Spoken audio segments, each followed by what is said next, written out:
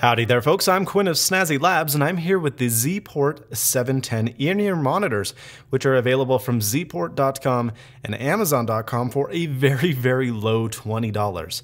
Now, when XePort asked me if I wanted to review these headphones, I looked at them and almost said no, because I thought it was your typical cheap-looking packaging Chinese earbuds. And uh, boy, was I wrong. The packaging is certainly nothing to look at, but you do get a nice carrying pouch along with the earphones and a small medium, and large uh, earbud size. Now, I actually am rocking the medium ear tip size, uh, or excuse me, the small ear tip size on these headphones, and it works great for me. However, there are three options that you can choose.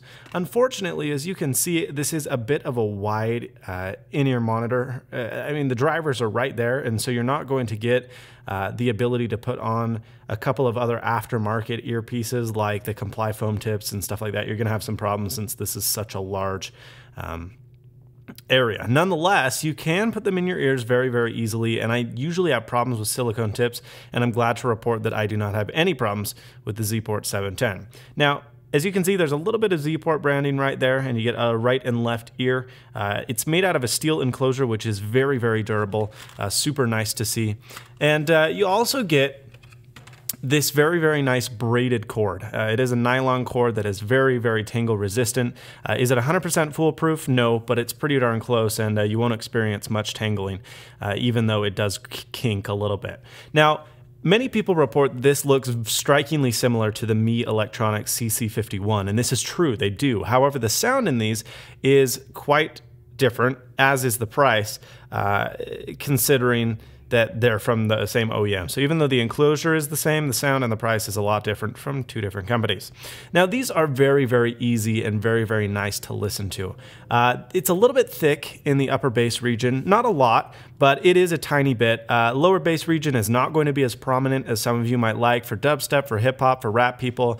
Uh, this may not be your optimal headphone. However, if you listen to anything else, pop, rock, anything of the sorts, it's an amazing sound because the treble is very, very laid back. It has excellent extension or extension, and it's pretty edgy without being fatiguing, uh, which is pretty unusual uh, in, in a lower end earbud. You either get that ton of bass or that ton of treble, uh, both of which are not very pleasurable to listen to, and this is kind of right in the middle.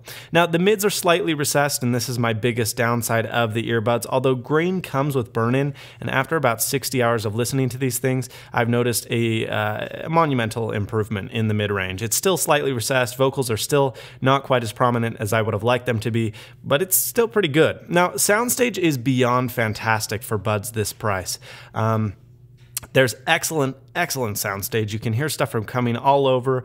Uh, you know, you get that front and back feel as well as the left and right. It's really unusual to find that in such a cheap pair of earbuds, but XePort 710 or 7010 has those. Uh, it sounds like a 50 to 60 dollar IEM. You know, even for audiophiles, I think it's a must buy. I can't believe it's such a low price, and uh, it, it, performs marvelously in rock, pop, jazz. It's awesome. Now, bass heavy stuff like dubstep, electronica, hip hop, it's not probably as bassy as you're looking for. Um, however, for every other genre, for 20 bucks, this is amongst the best sound you can get, and I was amazingly uh, impressed with what the XePort 7010 brought to the table. So, my final summations for these and my final rating is an absolute Snazzy Labs approved award. These won it hands down. Uh, they perform, you know, excellently. The sound is great. Soundstage is fantastic. Mids are slightly recessed, but other than that, it's a very, very nice extension on all ends. Uh, jazz, pop, rock, all sound great. That lower end stuff, you might be able to find a better bit, uh, you know, a better deal elsewhere, but honestly, for anything else, 20 bucks is a screaming deal, and I think everyone should pick up a pair of these because you'll be excellently surprised, as I know I was. Thanks so much for watching. Please subscribe, rate, comment. The XePort 7010 gets a Snazzy Labs approved award, and as always, stay snazzy. See you later, folks.